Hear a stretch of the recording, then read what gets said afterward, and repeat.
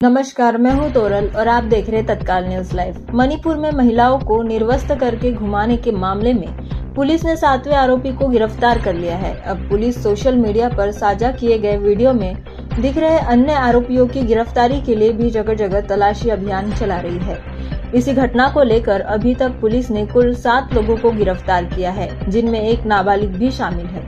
Police फ़िलहाल गिरफ़्तार आरोपियों से पूछताछ के आधार पर अन्य आरोपियों तक पहुँचने का प्रयास में लगी हुई है। बता दें कि महिलाओं को निर्वस्त घुमाने का यह वीडियो 4 मई को बताया जा रहा है। इस वीडियो को कुछ समय पहले ही सोशल मीडिया पर साझा भी किया गया था, जिसके बाद इसके विरोध में पूरे मणिपुर में प्रदर्शन का दौर शुरू हो गया था। गौरतलब है कि मणिपुर वीडियो मामले को लेकर सुप्रीम कोर्ट ने स्वस्थ संज्ञान लेते हुए बीते गुरुवार को केंद्र और मणिपुर सरकार से अपराधियों को जवाबदेह ठहराने के लिए उठाए गए कदमों के संबंध में अदालत को अवगत कराने को कहा था।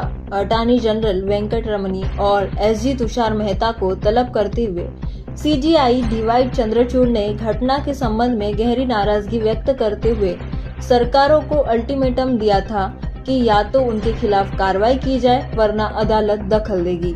इस घटना को पूरी तरह से अस्वीकार्य बताते हुए सीजीआई ने कहा कि लैंगिक हिंसा के कायम रखने के लिए सांप्रदायिक संघर्ष के क्षेत्र में महिलाओं को एक साधन के रूप में इस्तेमाल करना मानवाधिकार का घोर उल्लंघन और अतिक्रमण है। उन्होंने कहा कि इससे कोई फ़र्क नहीं पड़ता है कि वीडियो हालिया है और मई का है।